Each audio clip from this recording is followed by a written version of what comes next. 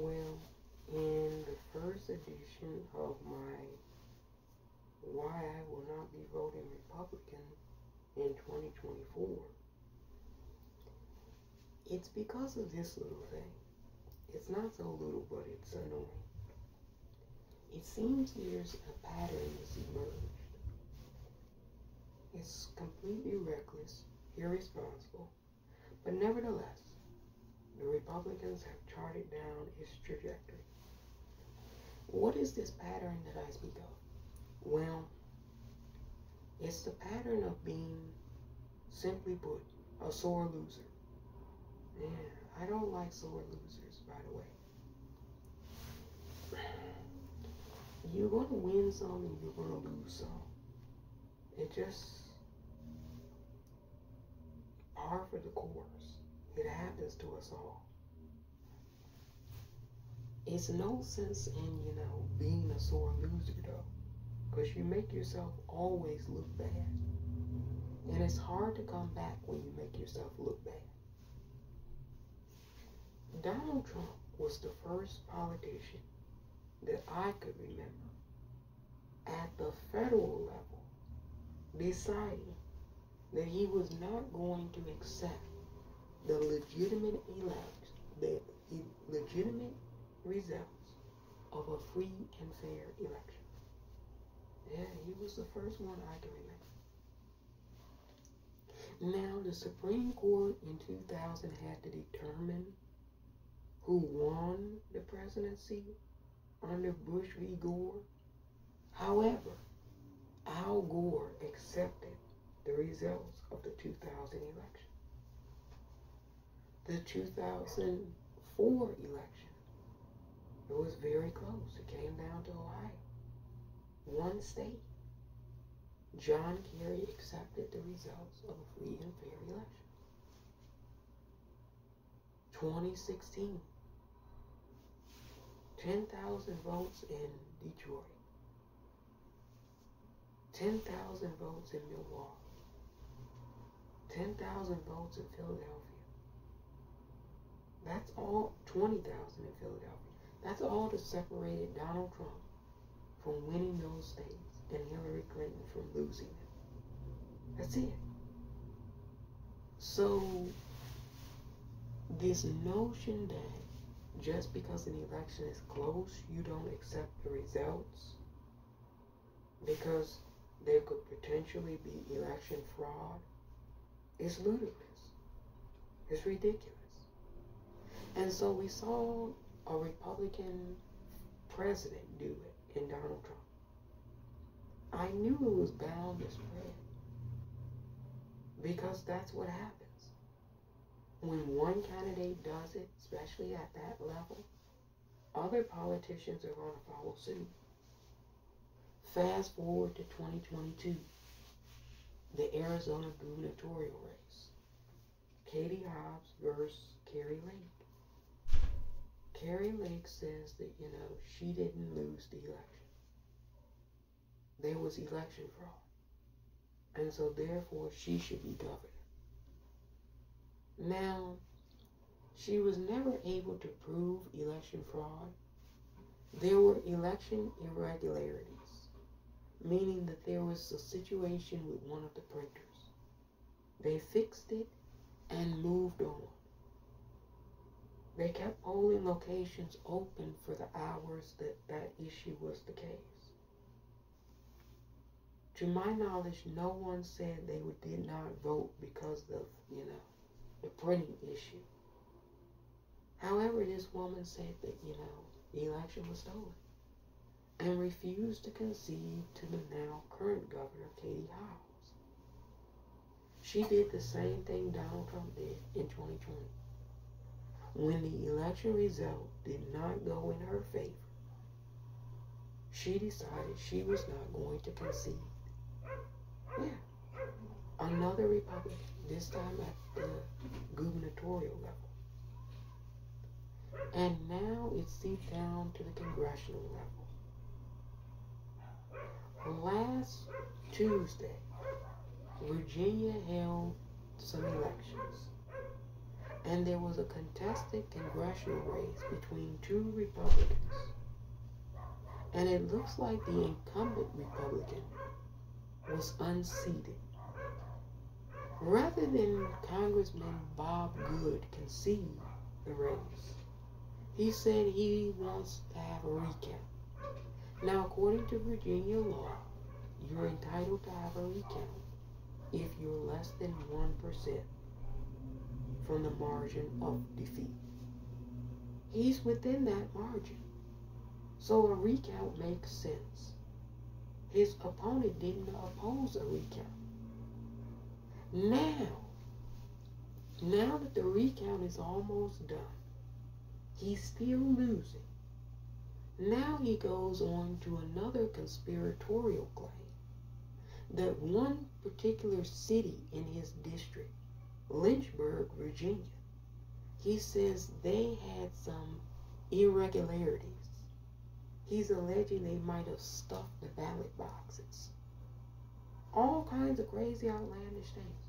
And now he's saying he doesn't want that city to have their results certified.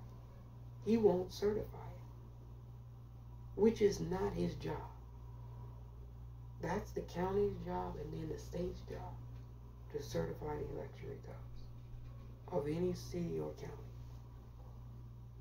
So Congressman Bob Good, a conservative member of the Freedom Caucus, is refusing to leave Congress, even though it looks like he was unseated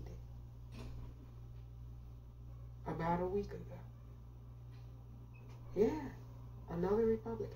So if you keep in count, that's Donald Trump, Kari Lake, and now Bob Good. What is it about the Republican Party when they don't get the election results they want? They throw a temper tantrum, come up with wild, audacious conspiracy theories, alleging always voting fraud.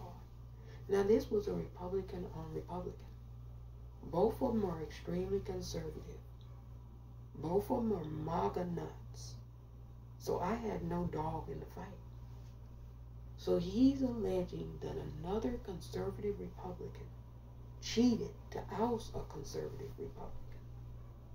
That's what you would have to believe in order for it not to be simply the case that he just lost and he's being a sore loser.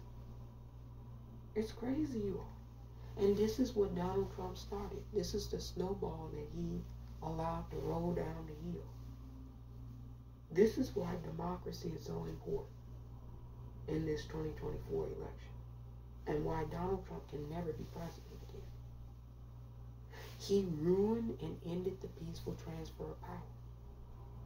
Now, when senators and Congress members, governors, they don't feel like they are necessarily inclined to transfer power peacefully either. Yeah, this was the precedent he set. That's what January 6th is about. And that's exactly why he doesn't deserve immunity. Yeah. No, I I can't wait to find out whether this United States Supreme Court is going to try to grant him criminal immunity whilst he was president for orchestrating an insurrection against his own nation. I can't wait for that determination to come down. Yeah, on Supreme Court watch for the former president's immunity bullshit. That's what I consider bullshit. The fact that they wait till the last minute to make this determination Right in the front door, I would have made it. No, you can't orchestrate an insurrection against the nation that you took an oath to serve and protect against domestic enemies. Only problem is he was the domestic enemy. And that's, you know, he's taking the oath against himself because he was the domestic enemy. Yeah. So, no, he, he shouldn't be granted any immunity, in my opinion. But we'll see. But this, you all, this is a bad look for the Republican Party. three different Republicans in three different states, three different election years, have all pulled this stunt of not wanting to concede races they clearly have lost. No matter how narrow the margin is you lose, you lose. If you lose by 58 votes, you lost by 58 votes. This man literally got on the phone and talked to the Secretary of State in Georgia and demanded that they find him 11,000 more votes. Doesn't matter that you lost by 11,000 or 1,000. You lost. Yeah, Donald Trump, Kari Lake, and Bob Good. They should never be elected to any political office. I'm aware that Kari Lake is running again for what now? Senator? Yeah, apparently senator.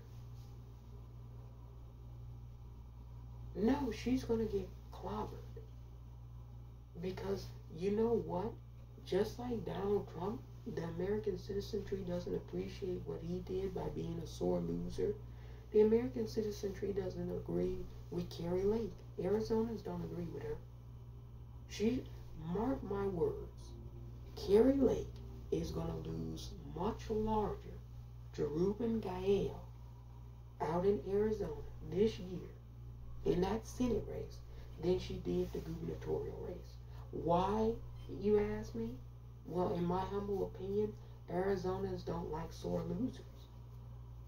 Americans don't like sore losers. That's not a thing that we gravitate to. You know, we're taught good sportsmanship. You win, you congratulate the team on a good game. You lose, you congratulate the team on a good game this whole notion that you don't concede when you lose free and fairly. You start blaming the referees. Oh, it was the referee that did it. This is what they did with the election workers. Ruby Freeman and Shaye Moss. They started blaming the election workers. All over the country. Said people in Detroit who were counting the ballots were stealing votes. Same thing they said in Philadelphia. Same thing they said in uh, Gwinnett County and Fullerton County. Because those people didn't vote for Donald Trump. And they knew they weren't going to vote for Donald Trump. They didn't want them to have their vote counted them. And so that's why he tried to, you know, steal people's votes. And then when that didn't work, they were just going to send some fake electors people who weren't the legitimate electors of the state. Yeah, it was a complete plot to subvert the will of the American citizenry.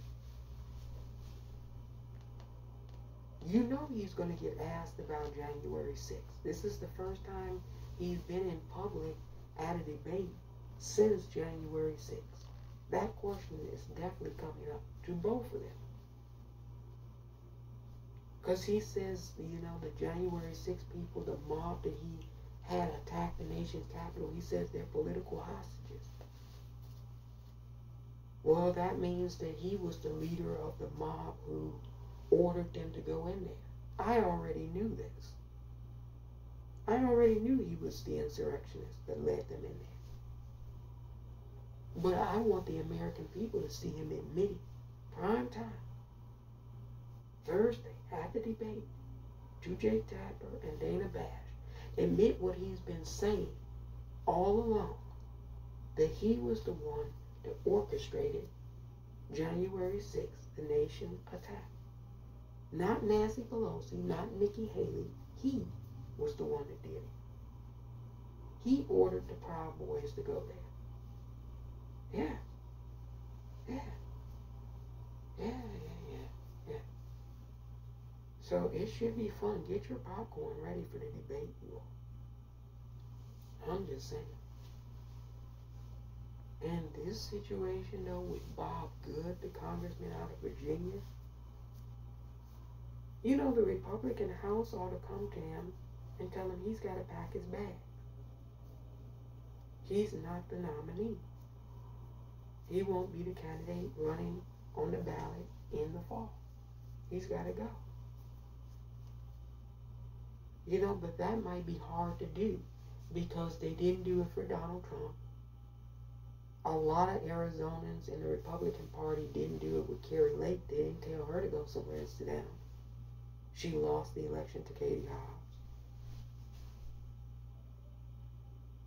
And I don't believe they'll do it with Bob Good. They're not going to tell him to go somewhere and sit down. No. How could they tell him to go somewhere and sit down when they didn't to Kari Lake and they won't to Donald Trump? Doesn't make much sense to me. This is what happens when you open Pandora's box. When you allow for people who you know are sore losers to participate in a competition where the outcome could be that they win or that they lose, but they won't accept the fact that they lost. You know, Bill Maher has been saying this for a while now. That if Donald Trump loses in November, he's going to show up in January 2025 at the inauguration. If he's not in prison by then. But he's going to try to show up and just claim that he won, regardless of what we the people do.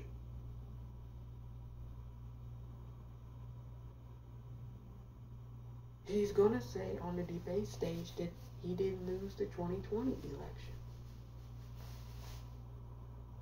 Yeah, it should just be a simple question to me. To me. Do you concede that you lost the 2020 presidential election to President Joe Biden? Yes or no? To both candidates. Because you can ask the question to President Biden Do you concede that Donald Trump lost the election to you? And the president will say yes. And Trump will either say, no, he didn't lose the election, or yes, he did. He can lie to the American citizenry. But I don't see how this man is allowed to run again when he's still telling the big lie that he didn't lose the 2020 election. We know he's not president, right? Maybe that's why he had those classified documents, because he still thought that he could, you know, be president. Yeah, yeah, it's starting to all make sense now. It's starting to all make sense. It's, it doesn't make any sense because you're dealing with a raving lunatic in Donald Trump. But it starts to make sense when you operate and start to think like a raving lunatic. Yeah. No, we've got a huge problem now with, you know, this seeping down to the congressional level. You know how many tight congressional races there always are in America? That come down to a hundred votes, maybe a thousand, sometimes less than a hundred. And now you're just gonna have people coming up with wild conspiracy theories as to why they don't want to leave or concede when they lose. And it seems to be all the Republicans doing this right now. It's a horrible look for their party. And this is why I wouldn't vote Republican in 2024. Nobody. I wouldn't vote for a Republican to be a dog catcher at this point. I'm too concerned that they don't, you know, honor democratic principles, time-worn democratic principles. I'm too concerned about that they're not going to honor those things. So I can't, in good conscience, vote Republican for anybody this year. Yeah. I'm just telling y'all what I can do and what I can't do. Have I ever voted Republican before? No, but I voted Independent and Green Party. Yeah, no, typically I don't vote for the Republicans because, you know, I live in a city. Republicans are not pro people who live in cities. they kind of operate like Donald Trump, thinking like the people in Milwaukee are horrible people. So I, people who live in cities don't generally vote Republican.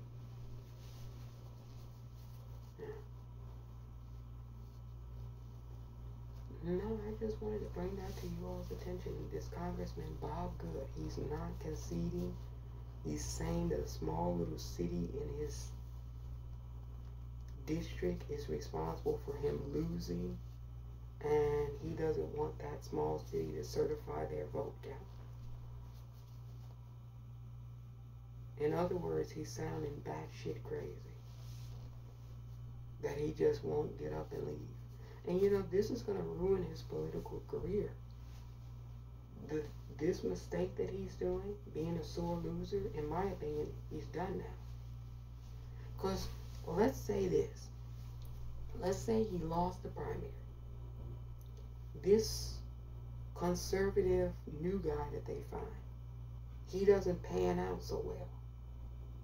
Because he only serves a two-year term, Bob Good could come back and challenge him two years later and end up retaking the seat. But now that he's pulled this sore loser stuff, Americans do not like sore losers. Donald Trump is going to find this out. Millions of Americans will not vote for Donald Trump in 2024 simply because of January 6th. Even some of his most die-hard supporters will not vote for him. They voted for him in 2016 and 2020. They will not vote for him about January 6th. That's one of the biggest things where he's losing support. And he can't gain that support back. That was a bridge too far for a lot of people. That was it. You attempt a coup? No, America doesn't do coups. We don't do that. You shake hands. You be ingratious of your opponent and you move on. Because if he had done that, he could have come back in 2024 and possibly beat President Biden. It's possible. It's possible. But after he pulled that January 6th stunt, no, not a chance in hell. Not a chance in hell. No, he's a national security threat. He's a liability. He's everything. And He's everything. When that case comes down, if the Supreme Court doesn't grant him immunity, and we start a trial for January 6th, possibly mid-August, maybe late July, early August, if that January 6th case starts early August of 2024, he's done. Because all of that shit that's involved in January 6th, that case, that's the big one. The documents case, uh, you know, that's important too. Don't get me wrong. But we saw with our own eyes, live on television, January 6th. That's the one that's nearest and dearest to people in terms of us as citizens for what he tried to do. The scheme he and his cohort concocted to overturn our democracy. That one is the one that matters. And that's the one that the American citizenry has said they want adjudicated before the 2024 election. We want to know, based off of the jury of his peers, whether when the evidence is presented to them, that he did indeed, you know, do what the government has alleged she did. Yeah. That one is important.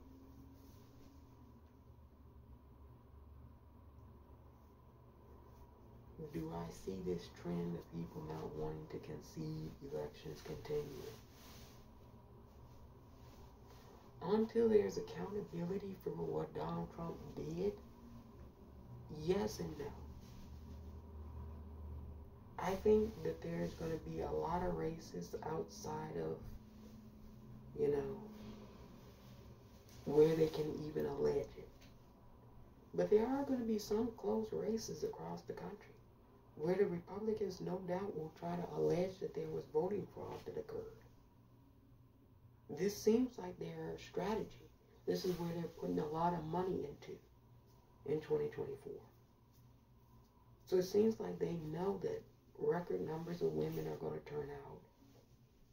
And they're preparing for losing by saying they didn't lose. Yeah, that's what it seems like they're preparing for. So, you know, that's why I'm going to vote personally myself and against all Republicans. Because I want the defeat to be resounding. Not a wave. No, just resounding. They have to be decimated. Electorally, the Republicans in 2024 have to be decimated. MAGA and this movement has to be purged from the American society. Period.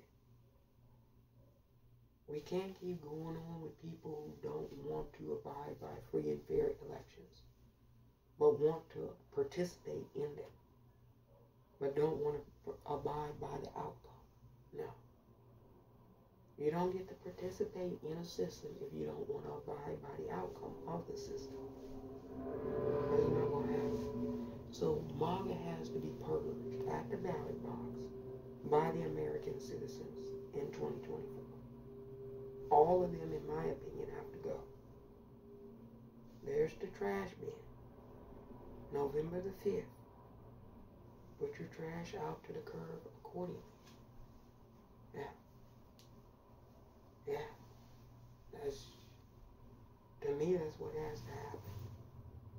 We've seen three examples now, all Republican, of just being complete and utter sore losers. That's the only way I can see it. All three of those candidates that I mentioned, Donald Trump, Kari Lake, and Bob Good, they knew full well they lost to the opponents that ran against them. And yet there was a persistent, to this day, refusal by all three to concede. It's ridiculous. It's ridiculous.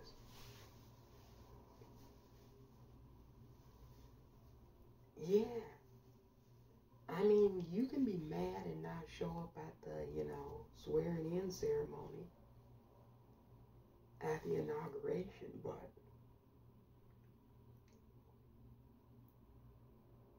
you gotta go.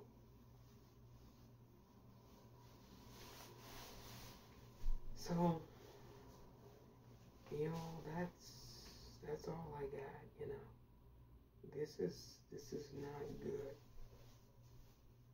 you're looking at what you're looking at is a Republican Party that's illiberal. They they they're undemocratic. They don't believe in the democratic process. That's what you're looking at. An entire party like this now. Yeah.